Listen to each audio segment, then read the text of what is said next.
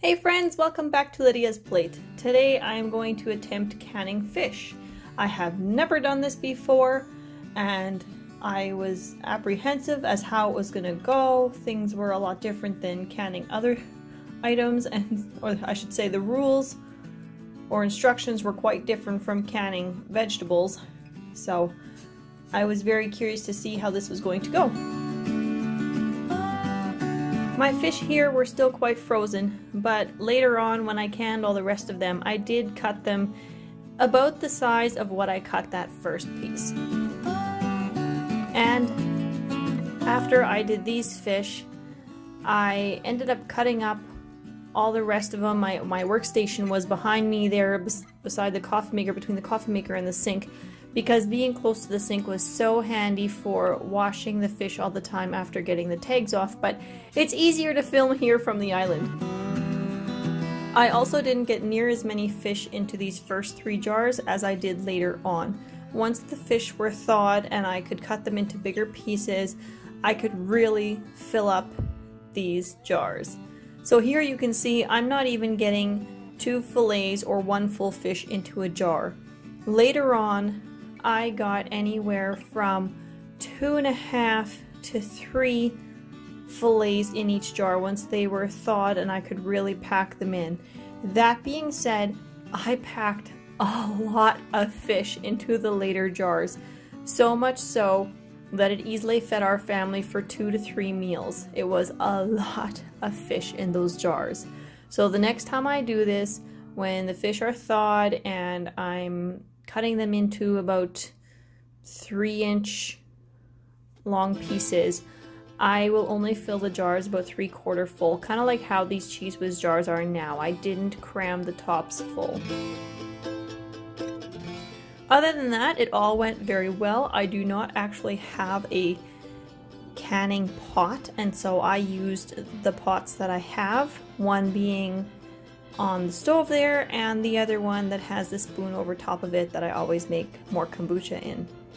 So those are the two pots that I used for canning all the jars of fish in. I ended up getting 17 jars. One we ate uh, within a day or two because I wanted to know how it had turned out before I continued. And then the other one we ate a week or two later because Mark hadn't tasted from that first jar and so we came home very late, right around 6 o'clock, and it was so simple to just have fish sandwiches and pickles and cheese. It was such a quick, easy supper. I mean, that's ready in like 10 minutes, and it was just such a simple meal. I didn't have to think a lot about it. I didn't have to run the oven or anything. It was just so simple. It'll be a great summer meal. Also, the next day when you see us eating some of this fish later on in the video, our hydro had been out and I mean thank you so much to all the hydro workers. They had called earlier in the week and warned us that the hydro would be out for two hours but it ended up being out quite a bit longer. It ended up being out from like 9.40 till 2 and so it was so convenient and handy to have a fireplace. We were down to coals and my bread wasn't all the way thawed so I took tongs and I was warming up slices of bread over those coals. It was so warm they were getting kind of toasty. It was very nice and just a totally different flavor than a toaster. And, and so it was also so handy to have this fish for that kind of a moment because what do you do when you have no hydro and you need to make food? So that was super convenient as well. I'm so glad that I decided to turn all the fish in our freezer into canned fish.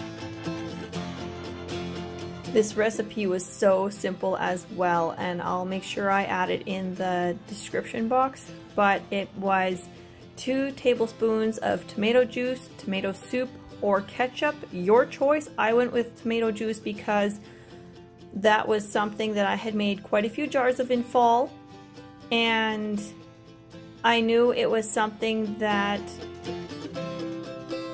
I would likely have more left over compared to say my tomato soup. I didn't want to be without the tomato soup because I'd ended up using it for the fish. I would have preferred to use the juice, which I did.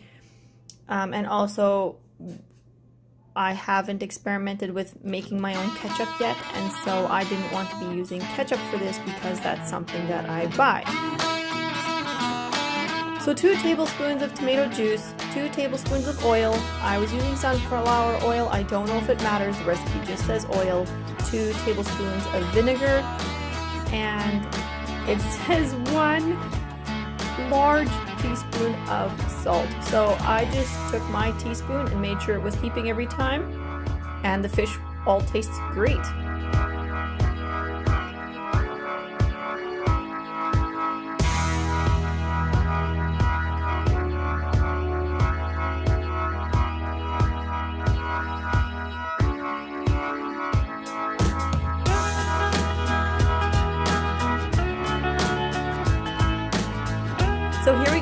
Lids have been softening up. I've boiled them for about five minutes and now I'm sealing them as tight as I can and they're gonna go into these pots to can.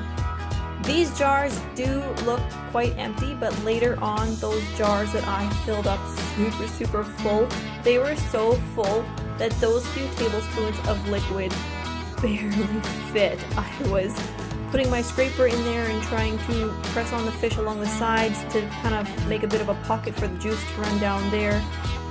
But yeah, those jars later on were super, super full.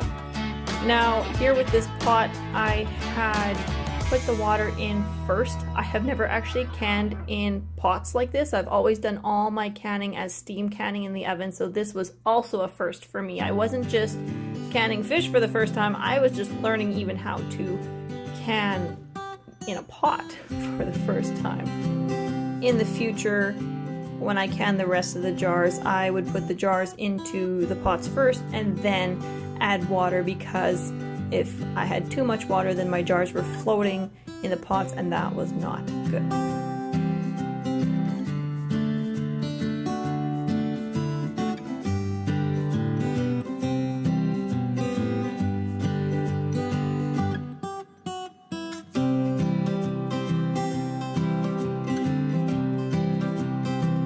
So this is how we eat our fish. I don't know if there are other ways to eat it, but I just mash it up, add some Miracle Whip, and it's done. It's that simple, super easy. I am very happy with the results from this. I have heard of other recipes with spices and all kinds that go into the jars during the canning process, and so I may try those in the future. I don't know. We're also very happy with this one, so I don't know if I will change anything. The kids came to sample here a bit first because I really just wanted to know how this tasted, if it tasted, you know, like the store-bought or better than the store-bought. I just, I really needed to know. And we did not find any bones. Most of these fish were jack. There were a couple walleye, and there was even, for sure, one or two walleye that were quite freezer burnt and we have not been able to taste that yet. So I have been very, very happy with this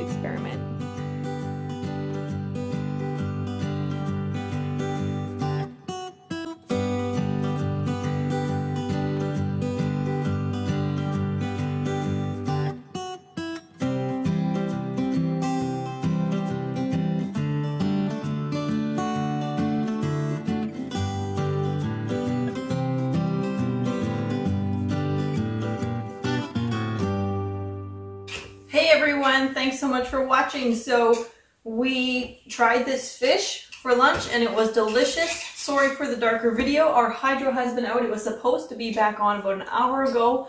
It's not back on yet. And so the bread was only taken out an hour ago. It wasn't quite fully thawed and so I just took barbecue tongs and held it over the coals in the fireplace and it toasted up nicely, warmed up, thawed. And the kids said that this fish was a huge hit. This jar had not sealed and it was somewhat difficult to keep the pot at just a low boil or, or a slower cooking because the jars continually were knocking together. But the end result is that everybody was happy with it. They said it was amazing. I'm curious to see if this fish will make me burp all day. I don't enjoy it when that happens with fish. And other home canned fish that I've had does not do that, only the store-bought stuff. So I'm super excited for this. The other two jars sealed. I will have to wipe them down as they are sticky from whatever went over. I was so skeptical because of how little liquid I needed to add into the jars, but hey, it worked. It's a success. Kids are all happy. This is all that was left, so maybe enough for one more. All I did was add some Miracle Whip to it, and for me, there's no science or measuring to that. It's just once we find it moist enough for our taste. I would guess for that jar of fish, I added about a cup of Miracle Whip. And that was all I added. No salt, no pepper, no seasonings. I mean, probably could. It would probably taste good, but that's, we just don't. maybe someday now that I've thought of it, maybe we'll try it. I don't know. We just don't. So anyways, yes, we like it with some cheese. Thank you so much for watching. I hope you've enjoyed this video and we'll see you in the next one. Bye everyone.